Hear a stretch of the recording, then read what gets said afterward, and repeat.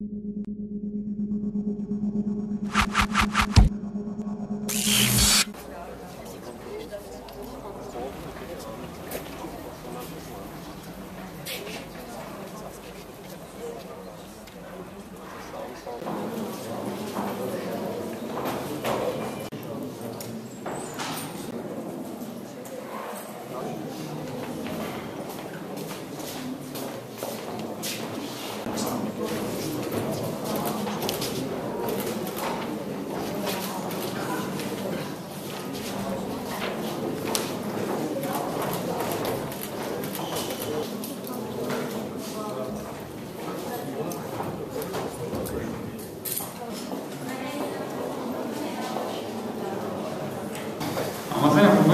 Ռուբեն Հայրապետյանի 0607-2012 թվականի տված սուզմունքի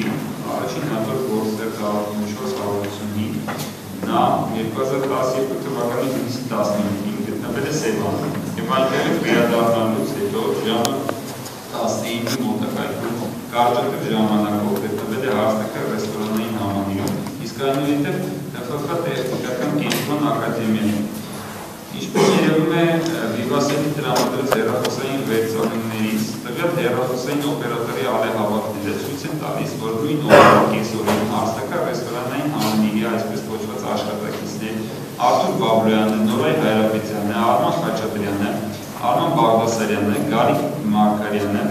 նույնպես կեսօրից մոտ ժամը 14-ից մինչև 19 ընթաց ժամանակահատվածում գտնվել են Սևանում ենթադրաբար այնտեղ ուղեկցելով Ռուբեն Հայրապետյանը։ Այնտեղ ավելի շատ դատավարություն չկա շոու է, եւ մենք չենք ուզում այդ դատավարությունը վերածել շոուի, մենք իրոք դատավարություն ուղղել այս գործի արդարությունը։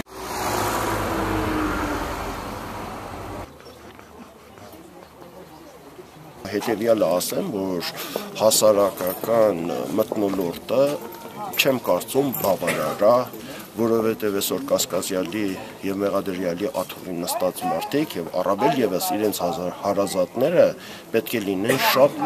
ամոթով, որ իրենք այստեղ են, սակայն տեսնում ենք շատ լկտի պահվածք են դրսևորում այդ Մեղադրյալների, թերևս թեև նրանց մեղքը ապացուցված չի, բայց ուղղակիորեն ցինիկ վերաբերմունք ունեն։ Ես կարծում եմ դա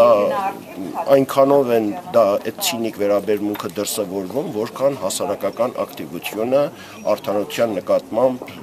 ակտիվություն է դրսևորում կամ ավելի ճիշտը դրա պակասն է թույլ տալիս, որ մարդիկ իրանց անպարկեշտ պահեն։ Եվ ես կցանկանայի իրոք սա իմ ցանկությունն է, որ այստեղ մենք լինեինք ավելի շատ մարդկանցով, ավելի շատ պաստառներով։ Ես կարող եմ մեկ ենթադրություն անել, որ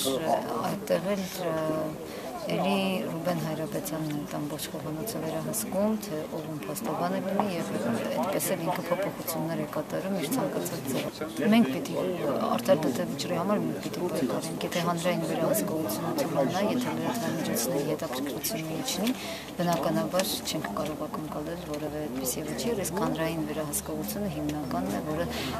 կարողանում է ինչ որտեղ սահմանափակել իշխանության այդպիսի մեծ ապօրինները կոնցկերով այս procesi.